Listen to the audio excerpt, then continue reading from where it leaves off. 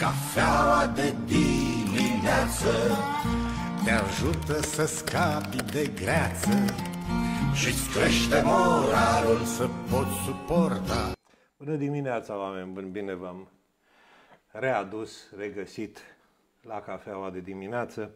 De fiecare dată când am un invitat care are probleme în traficul din Piatra Neamț, așa am un aer de satisfacție uh, că nu sunt singurul care dimineața ajung uh, la emisiune. Uh, nu știu cum se face, oficialii din Piatra ajung întotdeauna oriunde în oraș cu 4-10 minute. Eu nu reușesc să ajung, dar asta este o altă poveste. Deja am anunțat invitatul de astăzi, intrăm direct în problemă pentru că domnia sa vine de pe drum, vine tocmai de la Roman și recunosc că nu l-am mai, nu l-am mai uh, intervievat de foarte mult timp. Ultima dată am fost în biroul domniei sale, Lucian Micu, fost primar al municipiului Roman, uh, actual candidat și domnia sa spunea viitorul primar al municipiului când ne-am întâlnit jos. Bună dimineața! Bună dimineața, bine ne-am regăsit și vă mulțumesc pentru invitație. Cum a fost traficul? Ok, până la intrarea în Piatra Neamț, puțin aglomerat până am ajuns la dumneavoastră, dar iată-mă aici. Viu am ajuns la timp, un minut, și, două și înainte. N-am avut timp să facem nicio preparativă, ca să spunem așa, atât doar să vă punem cafeaua. Păi hai să începem. Când ne-am întâlnit ultima dată, erați primar, eu admiram foarte, cu foarte mare să spun eu, admiram cu admirație, nu. Admiram uh, pereții din primărie, îmi plăceau foarte mult acolo, așa erau niște imagini imense cu niște oameni pe pereții din primărie și la vremea aceea îmi spuneați, domne, eu uh, voi fi primar și în mandatul următor pentru că am făcut asta, fac asta, fac asta. S-a întâmplat uh, acea nici nu știu cum să o numesc, chestie cu ANI, Agenția Națională de Integritate, și de acolo a pornit un tăvălug. Vreți să ne explicați ce a fost atunci? Păi, din punctul meu de vedere, lucrurile sunt foarte simple. Din păcate, însă, interpretările legislative uh, au fost cele care au dus la acea situație. Interesele politice la acea vreme au fost cele care au dus și ele la aceeași uh, situație. Eu vă dau două exemple așa mai mari. Restul în țară, să știți că sunt de ordinul zecilor, dacă nu sutelor. Uh, doamna primar de Sibiu, cu tot respectul pentru dumneai, a fost colegă și în Asociația Municipilor, ne cunoaștem, am comunicat, am colaborat împreună. Ast, doamna Astrid. Poate. Doamna Astrid Fodor este în continuare primar de Sibiu, în aceeași situație juridică ca și mine, cu ordin de prefect anulat în instanță, cu mandat validat de instanță, primarul orașului Deta, de asemenea din județul Timiș, în aceeași situație ca și domnul mine. Micu, Toată domnul lumea... Micu, îl mai țineți minte pe Toma Caragiu, avea la un moment dat o scenetă de Revelion când avea cu mustațe ca și țiriac așa mari da. și spunea, zice, avantaj serviciu, avantaj primire.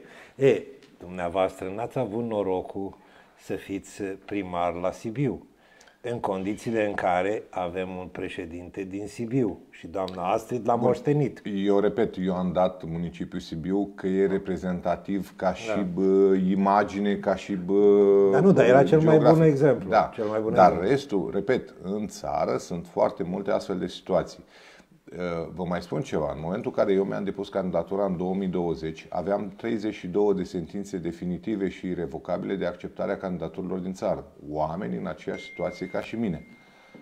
Ori, uh, clar, ridicăm niște semne de întrebare, dar ce vreau să scot în evidență? Trecutul este trecut. Nu-l mai putem schimba, nu-l mai putem întoarce. Și atunci uh, eu nu am venit în politică dintr-o zonă, uh, nu știu, de lipsă de ocupație, nu am venit din șomaj în politică, nu m-am întors în șomaj din politică.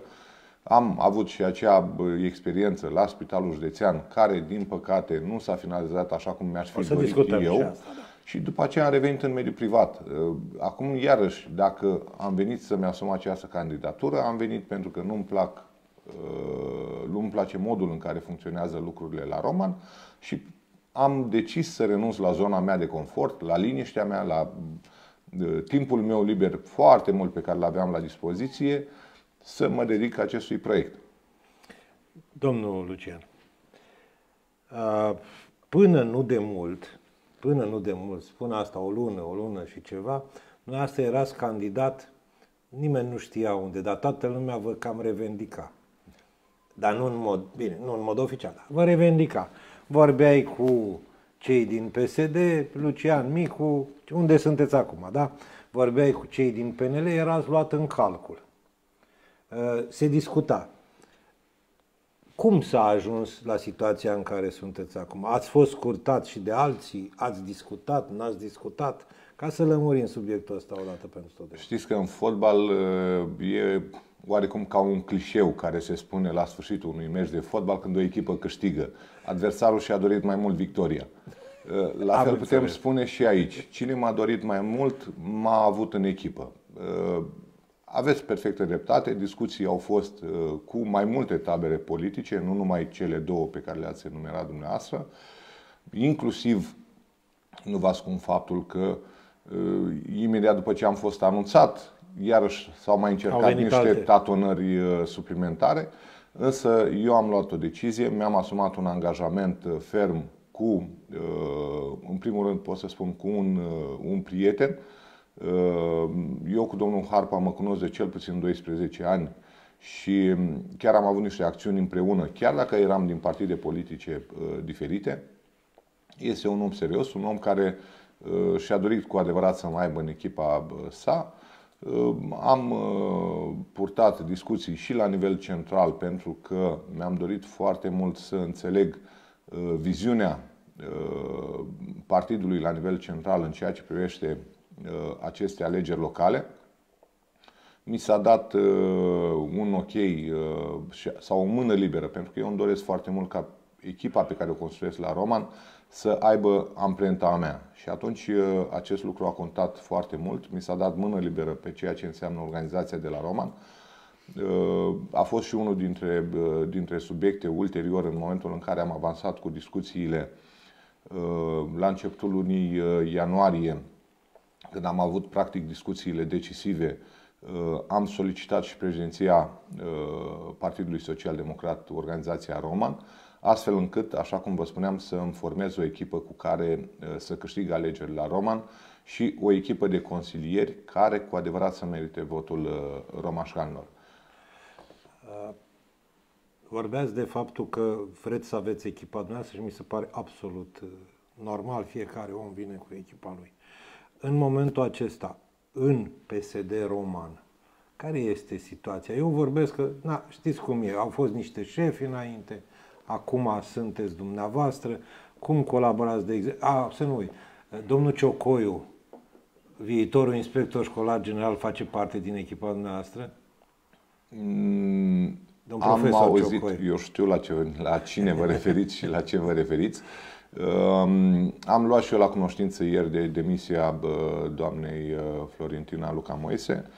Um, dacă într-adevăr va fi numit dumnealui, m-aș bucura foarte mult. Nu dețin această informație. Pe Probabil surse, pe surse fi, am, uh, am auzit și eu.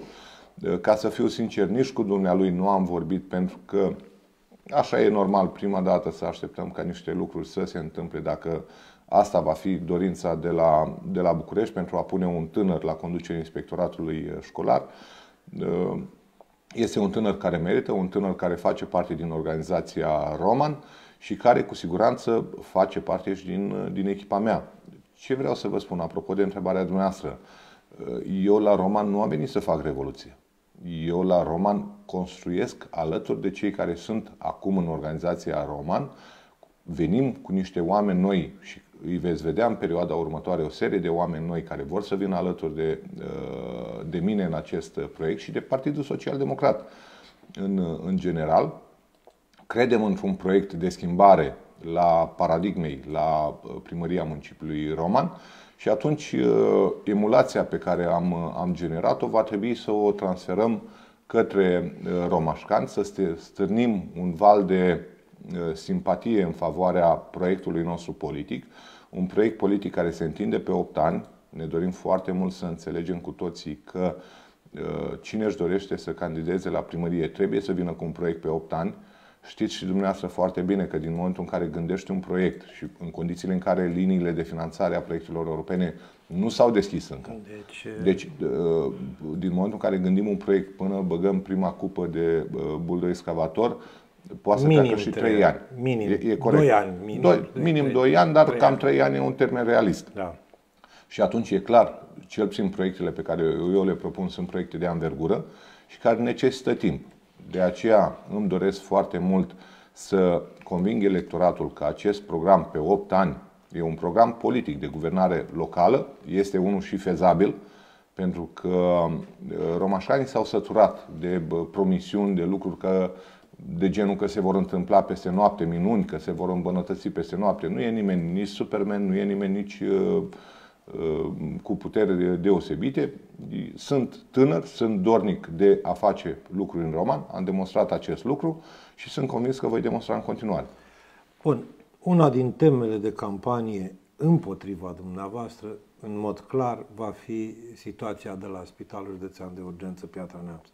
Uh, cum să vă spun, deja s-a discutat deja, se scot tot felul de uh, scenarii pe care este situația în momentul acesta. Eu vorbesc din punctul dumneavoastră de vedere. Vi s-a mai comunicat ceva în legătură cu cercetarea aceea penală? Nu. Uh, ce puteți să ne spuneți despre această situație? Pentru că uh, mulți uh, au arătat cu degetul, Eh, eu nu înțeleg nici acum de ce s-a arătat cu un deget, cu, opt, eh, cu o mână cu 8 degete sau 9, că eu nu înțeleg care a fost situația acolo, dar mă rog, e altă poveste. Bun, eu uh, aș dori să plec de la ceea ce ați a spus dumneavoastră la, la începutul întrebării că voi fi atacat pe subiectul ăsta. Eu sunt convins că dacă eram într-o altă echipă politică, n-aș fi fost atacat. Bun, erați atacat din partea cealaltă. Nu mă puteau ataca din partea cealaltă, că oamenii ăia nu sunt construiți pentru atac.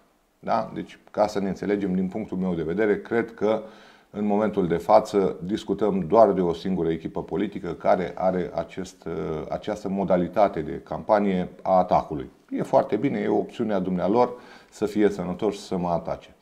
Legat de date din dosar, nu pot să vă dau foarte multe amănunte, pot doar atât uh, să vă spun din informațiile care au fost făcute publice de parchetul general că am calitatea de suspect în acest dosar. Din momentul în care, la un an după petrecerea tragicului eveniment, uh, mi s-a adus la cunoștință această calitate, am dat o declarație la parchetul general, după care nu am mai fost contactat. Deci nu o, singură mai, o singură declarație am dat am și atât. La fel de bine ați observat și dumneavoastră, tot din comunicările parchetului general, uh, raportul de expertiză final care a uh, adus la cunoștința publicului cauza incendiului, pentru că era și asta foarte important, uh, a fost o candelă. Acum, gestul persoanelor care au, atins, au aprins candela, nu știu, îl putem numi creștinesc, îl putem, nu sunt eu în măsură să comentez acest lucru. Dar este cert că Ceea ce s-a întâmplat la Spitalul Județean a fost o tragedie, o tragedie care pe mine personal m-a marcat foarte mult. Uh, m-am trezit într-un film care nu era al meu. Am conștiința împăcată pentru că nu am făcut absolut nimic greșit sau nicio acțiune de-a mea în calitate de manager nu a dus la acest uh, incendiu. Drept pentru care, repet, am conștiința împăcată, restul organele abilitate vor face uh, lumină, vor finaliza într-un, uh, într-un termen rezonabil, îmi doresc eu acest dosar, pentru că și asupra mea, planând atât de mult uh, această suspiciune, mă afectează inclusiv la nivel de familie, la nivel de individ, cum vreți dumneavoastră. Deci e și pentru mine o stare de incertitudine care nu mă oferă neapărat un, un confort, repet, în condițiile în care chiar nu am greșit absolut cu nimic. Ok.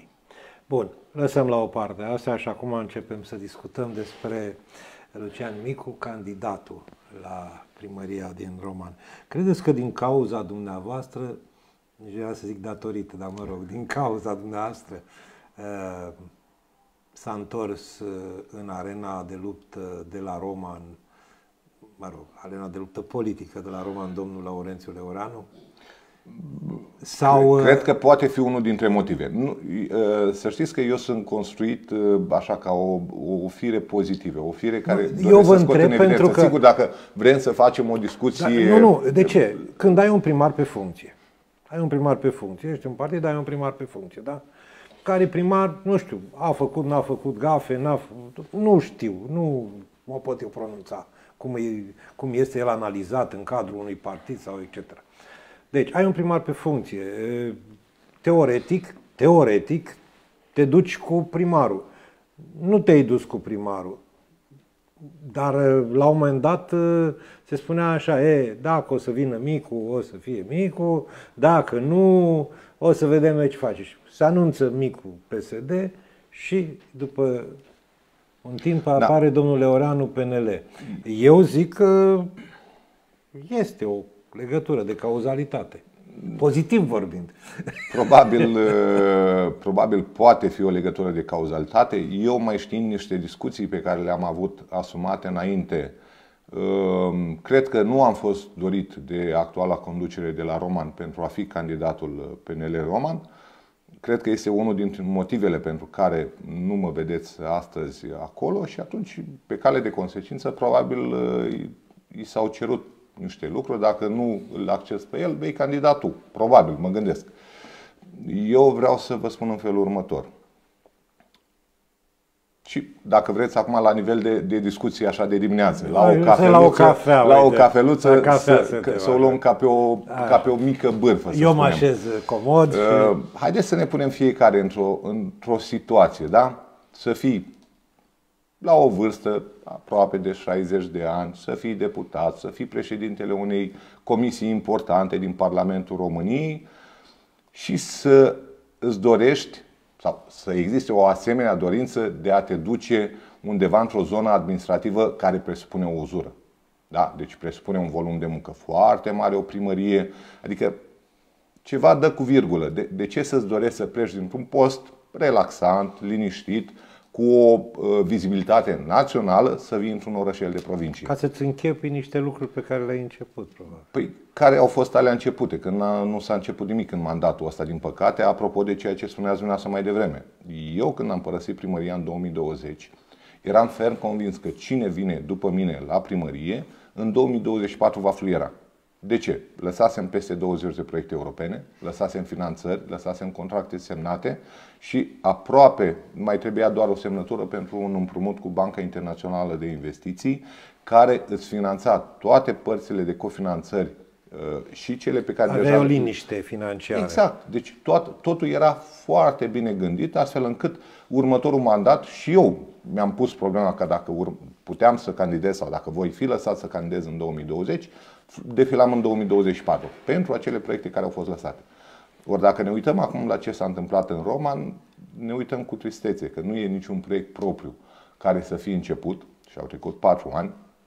Problema apei, de, deși eu am, am, am început-o, am început niște demersuri foarte importante și mai era un singur pas pentru a trece atunci în 2021 la apa vital, iar trecerea în 2021 la apa vital însemna uh, șansa romanului de a intra pe poimul uh, Apa Vital. Da? Și atunci aveam un proiect de maxim 50 de milioane de euro care necesita doar semnătura Ministerului Fondurilor Europene, deci nu trebuia să mergem la uh, la Comisia Europeană și era ca un apendice la. Uh, Țin minte că exact asta am discutat noi în emisiunea în care am făcut-o la Roma, în biroul Corect.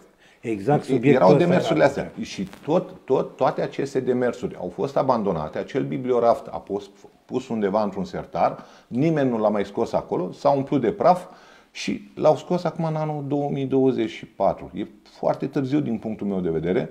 Uh, cred că și negocierea care se face acum cu Apa Vitalul se va face cu totul alți termeni, pentru că la vremea respectivă Apa Vitalul și asumase Uh, plata despăgubirilor pe care trebuia să le uh, facem către apa serv, pentru că trebuiau plătite niște despăgubiri. Dar nu erau de, volu- de nivelul milioanelor, de, zecilor de milioane de euro, cum se spunea la vremea respectivă.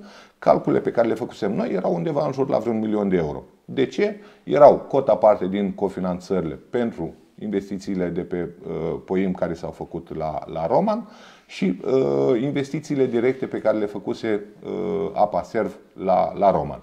Nu erau de o sumă ieșită din comun. Apa Vitalul la vremea aceea își permitea, bine, Cred că își pot permite și acum. Da. Numai că negocierea pe care o face Apa Vitalul, Apa Vitalul până la urmă e un operator regional, e un agent economic, trebuie să-l privim ca atare.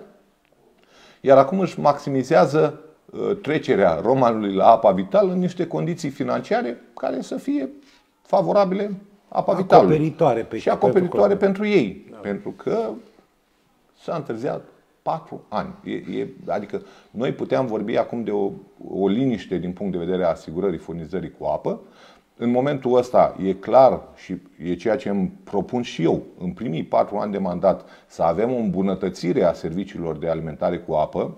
E obligatoriu, imperios, imperios necesar să avem furnizarea apei non-stop și cred că Apa Vitalul are capacitatea să facă acest lucru cu o serie de investiții inițiale, dar o rezolvare reală și finală a problemei apei mai durează încă patru ani.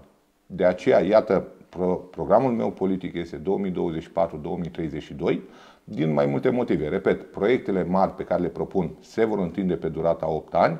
Îmi doresc să fiu primar pentru 8 ani. Nu vreau să stau 3 luni și să plec la București sau în altă funcție după aceea.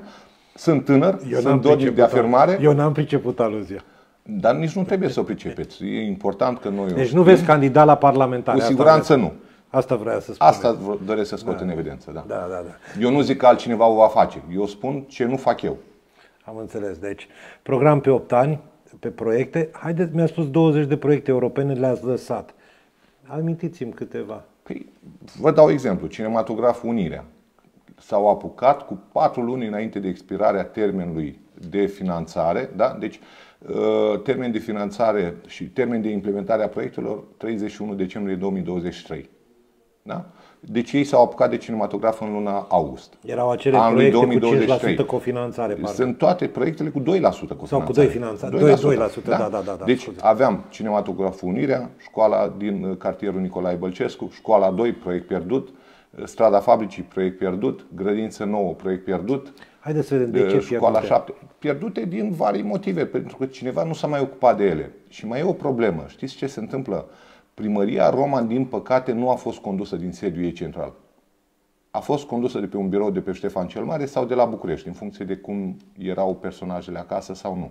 Și atunci acest lucru s-a văzut. Când ai o primărie cu doi conducători, nu funcționează lucrurile. Deci, haideți ca să o lămurim. Deci e vorba de domnul Leoran. Deci eu vreau să spun că, din păcate, primăria nu a fost condusă din instituții. Am Acesta înțeleg. este cel mai mare handicap pe care l-a avut Roman în acești patru ani. Clar, cineva trebuie să-și asume conducerea primăriei sau mandatul acesta de patru ani dezastros trebuie să-și asume cineva. Întârzierea proiectelor, dacă până acum puteam să tragem bani europeni pentru aceste proiecte, acum trebuie să finanțăm din bugetul local. Fie că vorbim de împrumuturi, fie că vorbim de bugetul propriu. Dar trebuie finanțate chiar, din bugetul și chiar local. dacă sunt, cum faza aceea, mie îmi place foarte mult, fazate. Sunt fazate. Sunt Așa fazate. Este. Da, dar, mie îmi vine de la fie, jocul ăla, știți, fazan. Fazan. De la fazan. Hai să fazăm proiecte. Da. Dar nimeni nu spune că dacă fazezi un proiect, tu îți diminuezi cota de bani pe care o ai din păi, faza următoare. Exact. Deci, adică de, nu, ai da, pierdut. Dar da, da, finanțezi din bugetul propriu și mai ai obligativitate. O parte din, da. Mai ai obligativitate. Termenul 31 decembrie 2026 trebuie să-l finalizezi, pentru că altfel trebuie să rambursezi toți banii. Integral banii. Corect. Adică da. sunt, sunt lucruri care au întârziat nepermis de mult. Păi dacă eu în mandatul meu am asfaltat vreo 30 de străzi, Aici s-au chinuit cu trei străzi din cartierul Bălcescu și abia le-au finalizat pe, pe sfârșit de an. Dar poate erau asfaltate bine de pe timpul dumneavoastră. Nu, nu, stați un pic. Eu am pregătit infrastructura la ele, tot ceea ce înseamnă rețele de apă, gaz, canalizare și ape pluviale. Acolo trebuia doar făcută partea de trotuare și partea de uh, terasament și asfalt. Adică Imaginați-vă, eu în trei ani câte am putut să fac cartierul Lipovenescu, unde a fost o muncă titanică. Acolo am preluat 33 de izvoare. În momentul de față mă întâlnesc cu oamenii din acel cartier și îmi spun că nu mai au apă în beci. Iar înainte la o ploaie cât de mică, sau o ploaie mai, mai da. puternică, da. trebuia să fim cu motopompele în zonă. Adică sunt proiecte care au fost bine gândite, au fost uh, generate de implicarea mea directă. Că aici, până la urmă, vreau să ajung. Dacă ești un primar de birou, nu vei rezolva lucruri.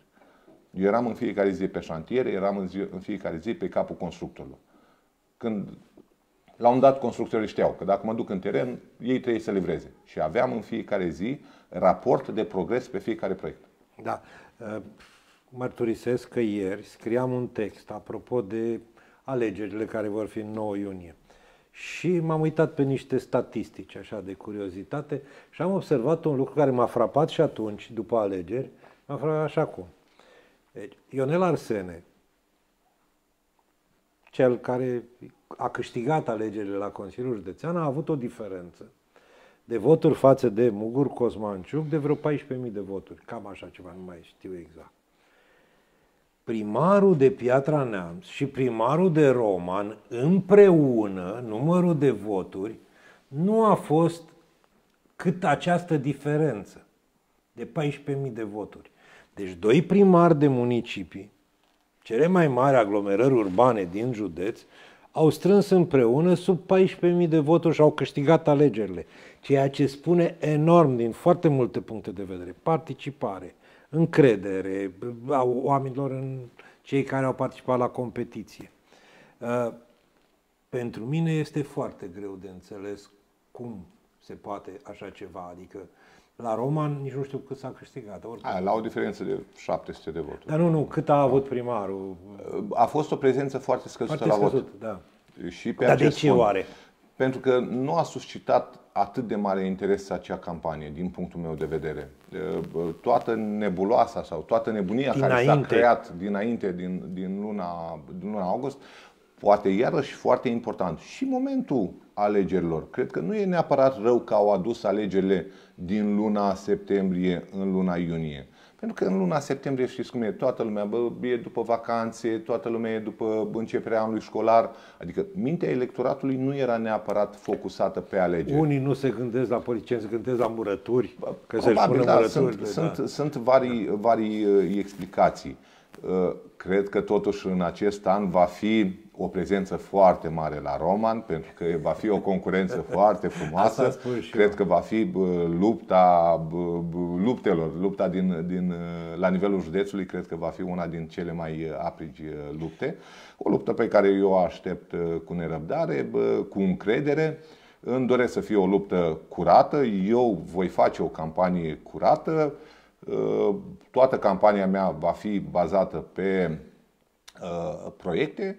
Uh, Nu voi intra într-un joc al atacurilor. Știu că se pregătesc foarte multe atacuri împotriva mea și le doresc mult succes să facă uh, acest uh, lucru. Nu mă deranjează și nu voi intra în acest joc al, uh, al atacurilor. Asta vreau să fie da. foarte clar și să Bun. înțelegem cu toții că vrem o Mergeți, campanie pe deci proiecte. vorbiți de proiecte. Haideți să vedem, proiecte pe 8 ani. Eu nu vă cer să-mi devoalați programul electoral al dumneavoastră, dar e normal, măcar, bun, apa ați spus. Care ar fi celelalte probleme pe care dumneavoastră Uh. vreți să marșați în campanie? Un proiect pentru patru ani mi se pare Faleza. Faleza uh, pe malul stâng al Moldovei mi se pare un proiect realizabil în uh, patru ani. Uh, Când eram în funcție prin, de prin anul 2018 am început niște demersuri prin Asociația Municipiilor din România să schimbăm legislația. Ce problemă aveam noi? Și avem la nivel de România. Uh, Digurile sunt în administrarea apelor române. Deci, practic, uh, tu ca UAT nu ai niciun drept asupra acestor diguri, ai doar obligații. Atunci, uh, la vremea respectivă, erau o serie de proiecte europene, cel puțin la nivelul municipiilor reședință de județ, care se implementau, gen Oradea, și la vremea respectivă s-a făcut o modificare legislativă care să permită asocierile dintre apele române și autoritățile publice locale pentru a realiza acest gen de investiții. Însă memorandumul acesta, modificarea aceasta privea doar fondurile europene, nu și, fondul, și nu și fondurile din bugetele locale sau Deci dacă eu guvernamentale. primărie îmi permit îmi să permit fac- să fac asta, ar trebui să am și eu era același- oarecum limitat. Exact, Ei, exact. și atunci am făcut aceste demersuri prin inter- intermediul Asociației Municipilor din România. Prin anul 2019 am obținut schimbarea aceasta legislativă și deja aveam la finanțare, în anul 2020 am propus la finanțare uh, studiul de fezabilitate pentru faleză. Din acel moment, după eu ce eu n-am mai fost la primărie, a fost scos de la finanțarea acest studiu de fezabilitate și n-a mai fost pus până în data Ce de astăzi. însemna faleza asta? Uh, faleza asta presupune un lucru foarte simplu. Practic, nu, uh, vorbim de o construcție provizorie. Nu va fi ceva care să afecteze structura de rezistență a digului. Vorbim de o pistă pietonală din pavele, vorbim de o pistă de biciclete din asfalt băncuțe, coșuri de gunoi și acele stâlpuri deci, practic de iluminat. un loc de promenadă. Un loc de promenadă. Asta, asta mi-am dorit să fac acolo. Plus, din punct de vedere vizual, intrarea în Roman, să vii pe timp de seară, să vezi o faleză luminată pe mâna dreaptă, cum intrăm în Roman, ar fi o chestie extraordinară din punctul meu de vedere. Și este un proiect realizabil în patru ani. Dar unul din marile proiecte care necesită 8 ani este cel de la piață.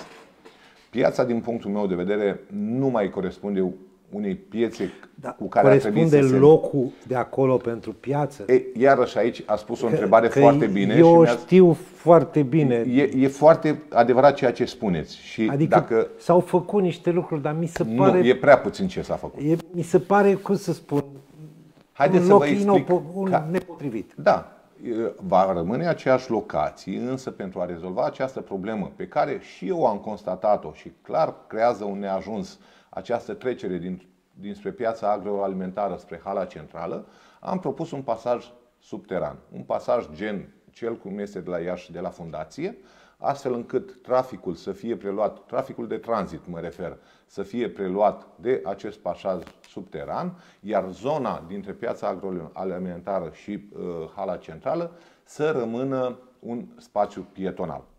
Și bineînțeles, trebuie să vină la pachet cu modernizarea pieței. Nu faptul că am mai pus un termopan, că am mai pus o ușă, nu adică schimbă cu absolut nimic. Asta deci vrem să facem o piață agroalimentară nouă, frumos amenajată, care, de care noi romașcanii să fim mândri. Și iarăși acest lucru nu se poate face în patru ani. Eu sunt conștient și vreau să fiu corect și cu dumneavoastră și cu romașcanii. Pentru că eu repet, peste patru ani vreau să mai candidez o dată, vreau să vin în fața romașcanilor, să-i pot privi în ochi și să le spun, v-am spus că fac în 8 ani. Uitați demersurile pe care le-am făcut până acum, de aici urmează celelalte etape. Da. E, e interesantă chestia asta cu piața, pentru că, într-adevăr, când te duci în Roman, spre deosebire de alte locuri, eu sunt invidios pe parcul din Roman, din, din totdeauna am fost invidios pe parcul din Roman. Uh, aproape că nu pot să trec prin Roman, să nu, măcar să intru 5 minute. Aveți o altă așezare față de Piatra Neamț. Bun. Piață, faleză, ce îmi spuneți despre sport? Că tot... Despre sport, iarăși foarte un subiect foarte bă, simplu. În 2020 am lăsat la finanțare un studiu de fezabilitate pentru amenajarea tribunilor. Practic, aici tot se bă, duce într-o zonă negativă la adresa mea, că am dărmat stadionul. Stadionul nu este dărmat, stadionul este la locul lui. Am finanțat pista de alergare de la stadion, adică acel lucru s-a făcut în mandatul meu pentru că pe stadionul Constantinescu Nehoi, făcându-se uh, la vremea respectivă un teren sintetic, uh, pista de alergare nu mai este corespunzătoare uh, pista de alergare cu zgură. Din păcate s-a oprit finanțarea pentru că acolo trebuia făcută o pistă de alergare sintetică. Nu s-a mai făcut, s-a oprit finanțarea și multă lume care alerga acolo pe stadionul Constantinescu Nehoi, inclusiv cei de la clubul atletic și profesorii de atletism, nu mai aveau o soluție. M-am consultat cu ei și am venit și am făcut la stadionul Moldova o pistă de alergare din zgură, repet, cu consultarea lor pentru a avea distanțele da. uh, pe care ei le au la competiții și în momentul de față toată lumea aleargă foarte frumos pe pista de alergare și eu mai merg uneori. Se joacă, uh, sunt competiții sportive de junior, de senior, de uh, fotbal feminin. Iar mai departe, mie ce nu mi-a plăcut acolo? Am, dacă vă aduceți aminte, în 2019 am avut un festival, Cult Fest la Roman. Ori, uh, și l-am făcut chiar pe stadionul Moldova. Eu am niște amintiri plăcute cu Cult Festul da? de la Piatra Neamț. Noi la Piatra am fost luați în balon. Am Cult Fest, nu știu păi, la Roman. Și la Roman. Da, și dar noi la, am fost la... alți în balon la modul propriu. Și, și la Roman la fel. Adică asta vreau să spun. Noi am generat niște evenimente la nivel de, de organizații de tineret care au fost foarte frumoase. Și inclusiv la noi, adică de atunci n-am mai văzut baloane pe cerul Romanului. Ca să ne înțelegem. Revenind, în 2019, când am făcut acest uh, festival, era o imagine dezolantă. Toate, toate acele betoane care nici nu mai erau sigure, pentru că toate erau crăpate, rupte și nu mai corespundea realității. Ce mi-am dorit să fac? Mi-am dorit să fac două tribune de o parte și de alta tribune oficiale de câte 500 de locuri și să le aducem mai aproape de stadion. Pentru că eu sunt consumator de sport, eu fac sport, joc și fotbal, joc și tenis de câmp, joc și tenis de masă. Uh, am mers în, de, în, dele, în delegații și în deplasări cu echipele de fotbal, de handbal. Deci chiar sunt un pasionat al, al acestui fenomen sportiv. Însă nu mai corespundeau realității. Practic erau foarte departe de, uh, de stadion, erau acele tribune. Mi-am dorit, repet, aceste două tribune de o parte și de alta tribune oficiale mult mai aproape de stadion. Pe partea opusă tribunii oficiale, tribuna A2, cum se spune, o tribună de 2000 de locuri, iar în spatele uh, stadionului, spre uh, tabela uh, care era înainte, două terenuri de tenis de câmp cu zgură acoperite, astfel încât și pe timp de iarnă se poată desfășura evenimente și în partea stângă spre uh, malul râului Moldova, un, spre strandul uh, din, uh, din Roman, să facem un teren de fotbal acoperit. Deci, practic, toate aceste lucruri erau finanțate.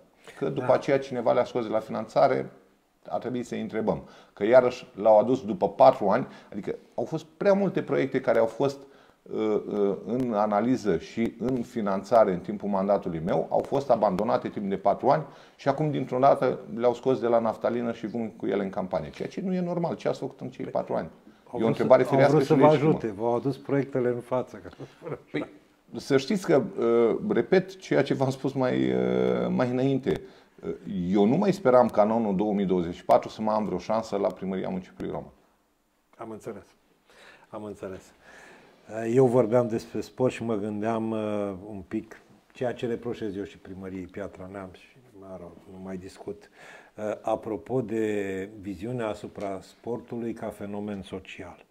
Uh, toată lumea spune, băi, că nu, sportul este un fenomen, ar trebui să fie un fenomen social la nivelul orașelor din Neamț.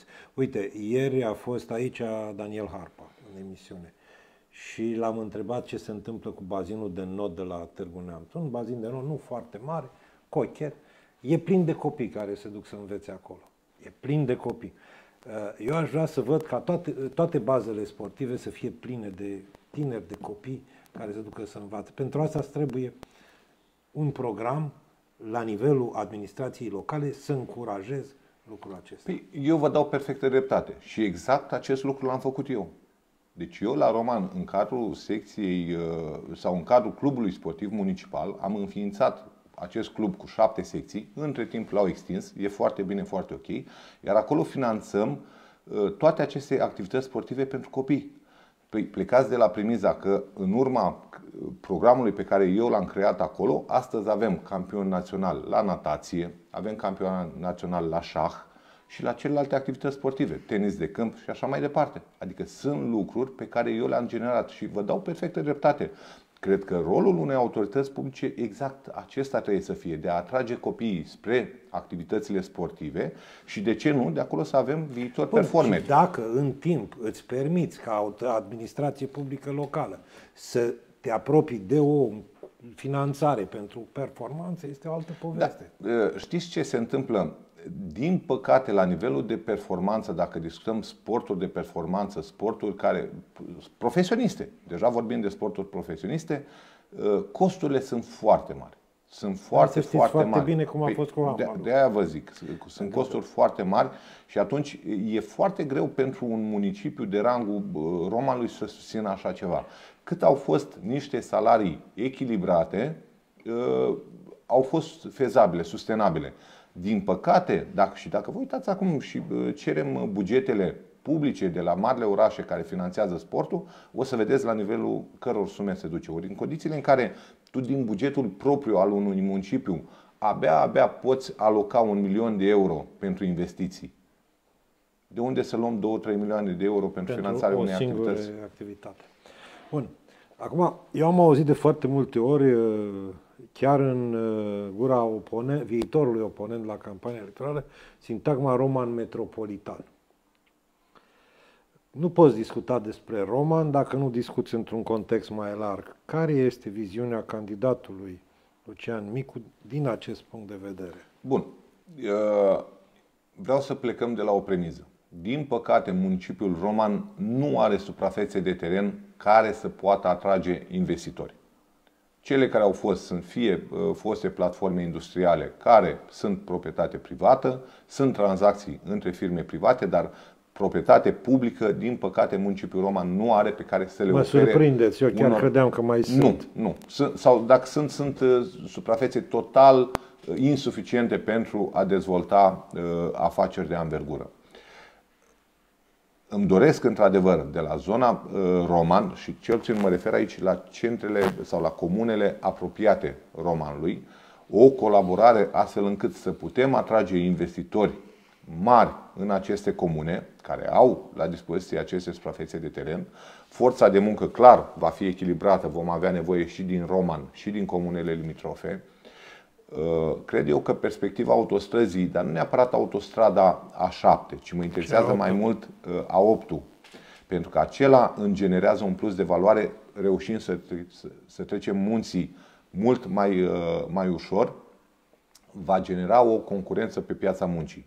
Pentru că în momentul de față la Roman nu știu dacă problema locurilor de muncă mai e o problemă majoră. Eu o discut ca pe o problemă majoră cea a locurilor de muncă bine plătite. plătite. Și când vorbim de locuri bune, bine plătite, avem nevoie de o concurență pe piața muncii care să genereze aceste uh, avantaje materiale pentru angajați. Și atunci e clar că trebuie să existe o deschidere la nivel de zonă metropolitană, ca un hub economic, să spunem, la nivelul comunelor limitrofe. Noi acolo trebuie să facem foarte mult lobby. Am o relație bună cu toți primarii din jurul Romanului, indiferent de culoarea politică, și atunci trebuie să avem cu toții deschiderea pentru a atrage acești investitori. Repet, chiar dacă aparent este o pierdere pentru municipiul roman că uh, cotă parte din uh, impozitul pe venit, impozitul pe salarii, se va duce la acea comună. Da. E adevărat, însă avem nevoie ca la Roman să generăm uh, o întinerire a populației. Ca să generăm întinerirea populației trebuie să atragem cât mai mulți uh, tineri în zona Romanului, iar pentru acești tineri, noi la Roman trebuie să facem o serie de eforturi. Unu, trebuie să construim, uh, să mergem mai departe și să punem presiune pentru construirea de blocuri ANL, Doi, trebuie să uh, generăm, așa cum v-am spus, o concurență pe piața muncii pentru a aduce uh, firme care să ofere salarii mai mult decât decente și trei, trebuie să le oferim o viață socială. Ori dacă ne uităm acum în ultimii patru ani, viața socială a dispărut cu totul, tinerii nu mai fac parte din niciun program uh, al administrației locale, în afară de cele două mari evenimente pe care le propun Uh, zilele orașului, zilele diasporei și, bineînțeles, tradiționalul sfârșit de an, nu se întâmplă absolut nimic. Păi eu adusesem, făcusem festivalul Max Blecher, unde mi-au venit uh, cu participare internațională, uh, festivalul Zargidava, care a atras foarte mult tineret, părinți cu copii. Am avut Cultfestul, care a fost izgonit de la Roman, Alege Viața de la Motoroc, care iarăși a dispărut de la Roman. Adică sunt prea multe fenomene care erau alternative a ceea ce se întâmpla clasic, tradițional în roman și care au, au plecat, au dispărut, nemai având susținerea autorității publice locale. Da. Uh, putem discuta despre proiecte o mulțime de, de timp. Uh, eu am încercat să ating câteva teme mari, pentru că probabil ne vom mai întâlni să uh, Cu siguranță, mergem da. în amănunt. Toată lumea vine și spune, domne, și percepția noastră, de exemplu, de la Piatra. La Roman totul este liniștit, totul este ok, lucrurile merg înainte. Romanul, traversez Romanul cu mașina mai ok decât traversez Piatra Neamțu, vedeți și dumneavoastră. Deci, cam asta e. Asta ați venit cu o perspectivă, domnule, nu s-a întâmplat nimic spectaculos în Roman Corect. în patru ani de zile. Adică ceva care să genereze, știu eu, o valoare în plus pentru uh, Uh, comunitatea respectivă. Eu cred că din contră a regresat. Bun. Acum, când ați fost dumneavoastră primar, ce majoritate exista în Consiliul Local? Da, aici aveți o foarte mare dreptate. Aveam 15 consilieri din 21, aveam majoritatea absolută. Știți de da. ce vă întreb? Pentru că un primar fără majoritate în Consiliul Local este un primar de multe ori prizonier. Prizonier în două locuri. Odată la partid, care trebuie să-i genereze majoritate prin tot felul de negocieri, și unul prizonier la cei cu care negociază. Și e important lucrul acesta și am vrut să ajungem aici. De ce? E important cu cine veniți în campanie. Și e important și scorul obținut nu la primar.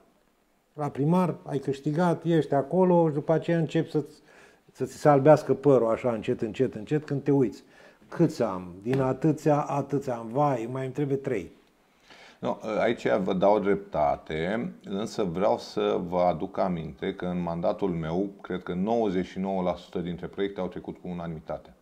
Deci chiar dacă eram într-un număr mai mult decât rezonabil și acceptabil, puteau să mai și lipsească Asta 2 3 însemna că discutați cu ei, negociați? Nu neapărat negociere, cât era, erau discuții uh, înainte de fiecare ședință de Consiliu le prezentam dinainte. Știți, foarte multă lume ne critica pe noi la Roman că nu avem dezbatere în sala de Consiliu. Păi nici nu Am aveam cum fost și să eu. avem, Am fost și eu vreo pentru două că noi ședințe le și m-am discutam plictisit. înainte.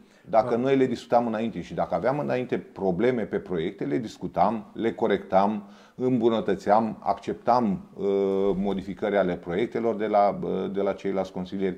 Deci niciodată nu am fost pe un picior de forță. Noi puteam să spunem avem, avem 15, nici nu ne interesează de voi.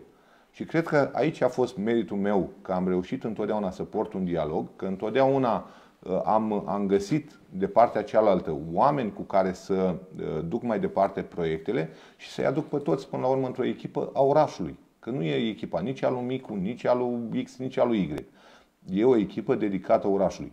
Însă, sunt foarte de acord cu dumneavoastră, eu voi milita în această campanie. Unu, ca cine mă votează pe mine să-mi voteze și Consiliul Local, să-mi voteze și președintele Consiliului Județean în pe- în persoana lui Daniel Harpa și să-mi voteze și Consiliul Județean.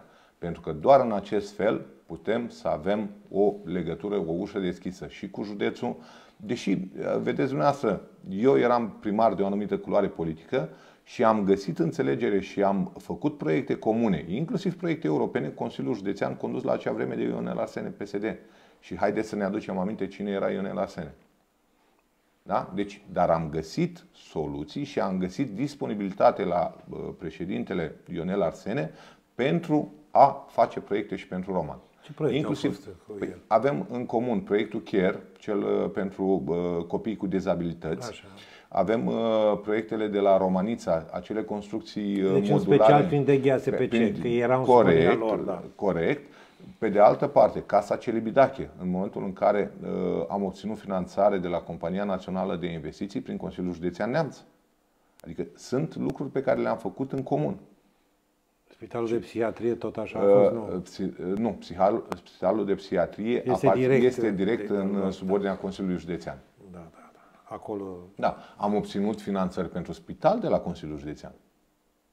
Am, uh, eu mi-aduc aminte cum arăta subsolul de la Spitalul Municipal de Urgență Roman și în urma finanțării de la Consiliul Județean, modernizat, nu mai avem scurgeri de apă și așa mai departe. Aparatura adusă sau lucruri care s-au întâmplat. Repet, uh, eu cred că ține foarte mult și de uh, implicarea pe care o ai. E adevărat și e foarte posibil, părerea mea, că la aceste alegeri din 2024, la Roma niciun partid nu va deține majoritatea. Cred că e o, aproape o certitudine acest lucru. Mi-e, mi-e foarte greu să cred că unul dintre partide 50 poate obține plus unu. 50 plus 1, 11 consilieri. E foarte greu. Va fi o- o situație echilibrată. Cred că unul va avea cu un consilier mai mult decât celălalt. Ceva de genul ăsta. Pentru că sunt două forțe puternice la, la Roman. Și atunci, uh, fiind uh, această uh, apropiere între uh, numărul de consilieri, e clar că va trebui să existe o negociere ulterioară. Dar am încredere în capacitatea mea de a discuta, de a-mi asuma acele proiecte în niște echipe mixte între uh, consilierii tuturor partidelor care uh, se vor afla uh, la mandat, în, pre- la preluarea mandatului, astfel încât eu nu cred că există vreun consilier care să nu-și, gorea, să nu-și dorească binele orașului său. Nu cred, ref- ref- refuz să cred așa La ceva. nivel de consilier sunt de acord cu dumneavoastră. Problema este, vine uh, la nivelul orgolilor politice, personale sau la nivelul organelor de partid. Știți ce se întâmplă? Eu cred că și peste aceste orgoli putem trece. Va fi perioada asta de campanie. Trei luni. Dacă nu vom lăsa urme adânci, eu personal nu voi lăsa urme uh, spre deloc. Da? Deci eu încă o dată spun, campania mea va fi bazată pe proiecte. Dacă va fi cazul să mă apăr, voi vedea eu cum voi reacționa. Dar ca idee și ca principiu, eu îmi bazez toată campania pe proiecte și pe construcție. Ori în momentul în care voi reuși să capacitez populația municipiului Roman să vină alături de mine, sunt convins că ulterior orice lider politic va fi la nivel de municipiu roman, la nivelul de județ, la un partid contracandidat, ne putem așeza la masa dialogului așa cum au făcut-o cei la nivel național. Adică pentru noi trebuie să fie la un exemplu. Așa cum au reușit la nivel național să treacă peste orgolii, să treacă peste răni vechi, la fel și noi putem face. Sigur că vor mai exista înțepături, vor mai exista și cane, sunt poate și normale, dar una peste alta la un moment dat va trebui să dăm dovadă de maturitate și să punem interesul uh, local pe, pe primul loc. Fie că vorbim de interesul romanului sau de interesul județului Neamț. Acum, uh, dacă tot ne apropiem de final și hai să terminăm într-o notă mai veselă, așa cumva. Dar sunteți optimist că veți câștiga aceste alegeri. Uh, dacă veți câștiga aceste alegeri și veți avea uh, o negociere cu partidul celălalt, să spunem, uh, veți accepta, de exemplu, ca domnul Eureanu să fie viceprimarul dumneavoastră? Oh, suntem, suntem departe de astfel nu, de zic, discuții. Veți, deci de, ați accepta să lucrați în echipa eu, asta? Eu vă spun următorul lucru. Deci, că ar fi drăguț. Dumneavoastră ați subliniat foarte bine un, un lucru, însă eu pot să vă răspund un singur lucru cu certitudine. Eu candidez doar pentru primăria municipiului Roman. Dacă nu voi câștiga aceste alegeri, nu mă interesează nicio altă funcție. Nici de viceprimar. Nici de viceprimar, de... nici de consilier.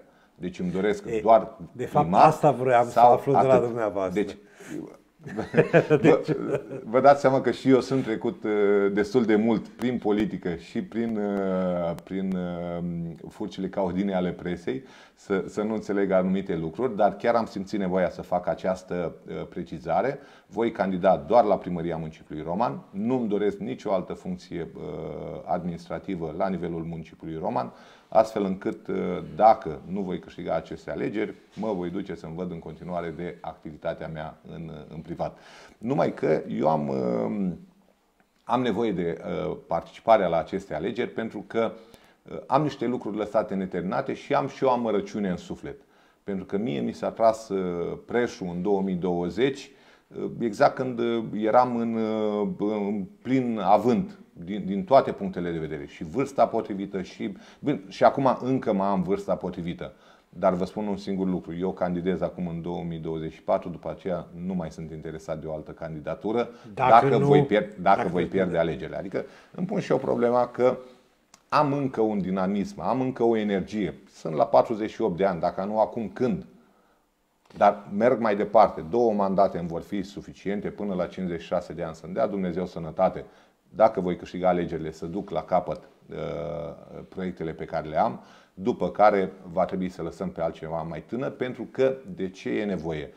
Entuziasmul pe care îl ai în și jurul uzura, e, e, și o, e și o uzură inevitabilă, dar vă spun altceva. Entuziasmul pe care îl are o persoană la 44 de ani, nu numai tu la 59-60 de ani. Acum depinde, știți, că mai sunt și oameni. Sunt și Eu nu zic nu, dar, dar numai, numai, numai uh, capacitatea de inovare, numai uh, deschiderea spre nou. Societatea numai... se schimbă foarte repede, lucrurile se schimbă atât de repede de la o zi la alta, încât e greu la o anumită vârstă să mai ții, uh, să mai ții pasul, pasul cu toate aceste modificările. Așa este, de aceea zic că uh, eu îmi voi dori foarte mult ca din echipa pe care o construiesc acum, la nivelul Consiliului Local, să dea viitorul primar în, adică în 2032. oameni pe care să Cu siguranță voi avea oameni noi, mulți oameni noi pe care îi veți regăsi, oameni de valoare, oameni care au făcut ceva în viața lor, sunt oameni tineri care sunt potențiali uh, candidați în 2032. Ne oprim aici, vă întreb ceva după emisiune. Dacă din echipă va mai face parte la nivel de consilier cineva, dar după emisiune. Vă mulțumesc pentru faptul că ați ajuns la Piatra Neamț, ați trecut prin uh, traficul din Piatra și ați ajuns la emisiune la timp.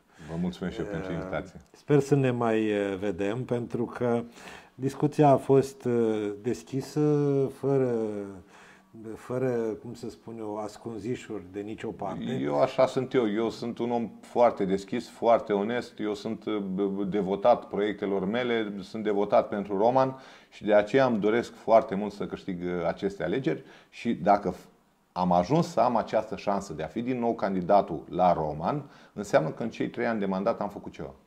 Și am primit aprecierile din partea romașcanilor și în toate sondajele de opinie în care am fost. Și uh, faptul că, repet, am ajuns să fiu candidat la Roman, denotă faptul că sinceritatea de opinie, denotă era că sinceritatea era un că ați fost în sondaje în mai multe sondaje, dacă țin o minte. Da, și, și cu rezultate... toate am ieșit uh, pe primul loc. De aceea cred eu că uh, modul meu de a fi corect, onest, cinstit, Uh, de a spune lucrurilor pe nume, asta pot să fac, asta nu pot să fac. Când spun că nu pot să fac, spun de ce nu pot să fac, pentru că lumea s-a săturat să fie păcălită, mințită, nu știu, pe proiecte din astea fantasmagorice, care nu au un... Uh, sau pe proiecte care nu aduc nimic a... Sau care nu aduc nimic doar comunității. Cheltuie bani. Corect. Cheltuie bani. Corect. Ne oprim aici, cele bune, Lucian Mulțumim. Micu, de la Roman, uh, candidatul Partidului Social Democrat pentru funcția de primar, unde se va confrunta într-un fel de turnir electoral. Așteptăm să vedem armurile fiecăruia